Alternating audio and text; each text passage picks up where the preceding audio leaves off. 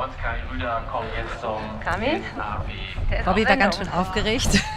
Ich habe noch schnell zu Carmen gesagt, Bobby ist auf Sendung. Er wollte nämlich unbedingt los und mit gespitzten Ohren zum ersten Sprung. Ein tolles Gefühl, wie er sofort Vollgas aus der Startbox zum ersten Sprung hingaloppierte. Wendung, jetzt kam hier schon das zweite Hindernis, wieder ein Hochweitsprung. Und ich konnte flüssig aus dem Tempo, oh, da hört man noch mal einmal so ein bisschen verzweifelt. Ich dachte nur nicht zu doll am Anfang.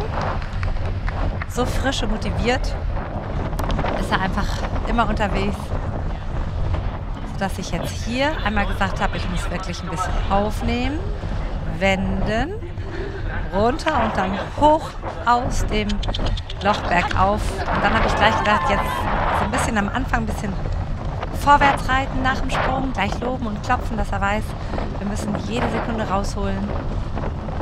Dann hier ein bisschen Innenbahn. Hier wusste ich, der erste Minutenpunkt war schon prima erreicht. Jetzt habe ich mich hier bei den beiden Ecken für die rechte Ecke entschieden beim Abgehen und wollte aber einmal hier wirklich ein bisschen durchkommen. Abwarten, wenden und da ist die Ecke. Er hat sie fest im Visier. Sofort wieder weggaloppieren. Und hier wusste ich, dass ich mich jetzt immer früh genug hinsetzen muss. Parieren. Scharfe Wendung. Jetzt sehen wir das Gatter. Und 1, 2, 3, 4, 5. Das war so ein bisschen eng, deshalb habe ich einmal nochmal pariert, um mir dann jetzt wieder schön frei galoppieren zu lassen. Hier Innenbahn am Rail entlang, um jeden Meter zu sparen. Dann wollte ich hier in die Mitte von der Trasse und dann wenden, schön dicht dran hier an die Bäumchen und den Ochser und jetzt habe ich dann einmal aufnehmen. Die Wendung sorgfältig ausreiten, schön außen bleiben, wenden und jetzt wieder neu zureiten zum Wasser. Und rein ins Wasser und sofort gucken, wo ist die Ecke, wo ist die Ecke, hier ist sie. Reinwenden und super. Dann kam sofort der nächste Schmale hinterher und jetzt bin ich hier schnell vor den Blumen her, um wieder ein bisschen was zu sparen und kam ein bisschen schräg an den Ochser und war überglücklich, dass die erste Wasserpassage schon mal geklappt hat. Und jetzt zog er einfach irre vorwärts. Ich wusste, dieses Rennbahnhindernis können wir auf uns zukommen lassen und wirklich flüssig aus dem Schwung mitnehmen. Und dann ließ es super fliegen. Jetzt wieder Innenbahn in der Wendung. Habe ich einmal geguckt, wo ist die Uhr, wie sieht es aus? Und wusste jetzt hier gleich links am roten Pfosten, da sollte der zweite Minutenpunkt sein. Aha, dann ein bisschen nach links gewechselt, die Spur gewechselt. Und jetzt war mir klar, dass ich ihn einmal vor dem Aufsprung in der Wendung ein bisschen aufnehmen möchte.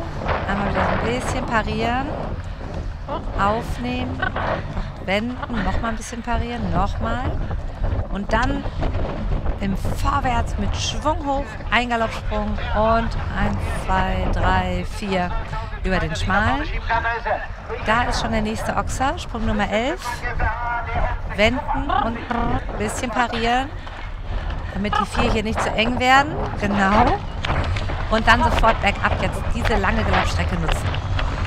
Wenn man am Anfang so ein bisschen kommt und die Züge ein bisschen länger lässt und klopft, dann hat er sofort seinen fünften Gang. Und hier hat einfach nur Laune gemacht. Bergab, lange Galoppstrecke, hier ist nochmal Sprung Nummer 13, die Kiste. Einmal ein bisschen aufnehmen, genau. Und dann wieder bergab galoppieren, ihn galoppieren lassen, so schnell wie er möchte, so schnell wie er kann. Ich, der nächste Grab kommt. Den können wir auch wieder flüssig im Schwung nehmen. Die Zeit war so knapp, dass ich wusste, ich muss einfach versuchen, jeden Meter zu sparen und überall dort schnell zu galoppieren, wo es sicher ist. Den kann man schön flüssig aus dem Tempo mitnehmen. Da hat er einen super Sprung gemacht. Und hier kam es jetzt aber darauf an, bevor ich wende, einmal früh genug aufnehmen. Hier an dem Weg fange ich jetzt an, da schüttelt er sich einmal und nochmal parieren. Nein, wir müssen nochmal, nochmal, nochmal parieren, wenden, damit hier der Schmale auch ganz klar im Visier ist. Genau. Und raus aus dem Loch. Super. Jetzt kommt hier der nächste Minutenpunkt. Da wusste ich, ich bin auch wieder vor der Zeit. Und er galoppierte frisch hier um die Kurve. Ich dachte, oh, die Windung ist eng. Nochmal parieren, nochmal parieren. Bis er wusste, aha, hier. Und die habe ich jetzt aus dem Fluss mitgenommen, auf groß. Und dann hier ein bisschen pariert. So, jetzt war es ganz schön doll hier runter. Nochmal ein bisschen parieren. Nochmal einen kleinen. Und jetzt habe ich im Moment überlegt, reite ich innen oder außen. Ich bleibe innen. Die Zeit ist so knapp. Ich glaube, wir können es riskieren. Das erste Wasser war so flüssig. Ich bleibe hier innerhalb der Blumen, pariere, wende, gucke zum zweiten Fenster von der Kiste und rein. Super. Eins, zwei, drei Galoppsprünge und raus.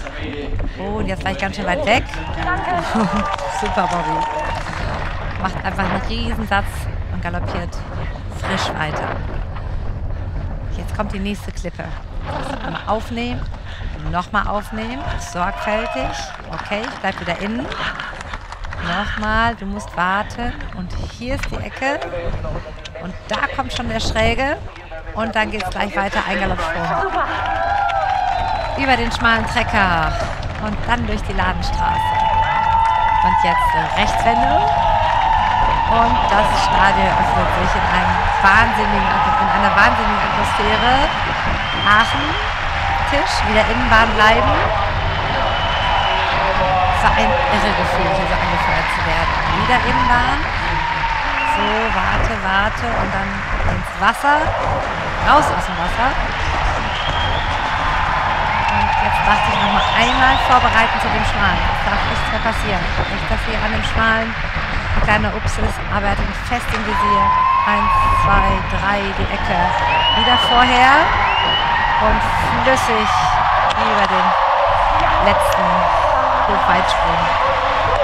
Und dann einfach überglücklich noch eine Runde blockieren. Und er war so frisch und so fit. Das war einfach ein irre tolles Gefühl.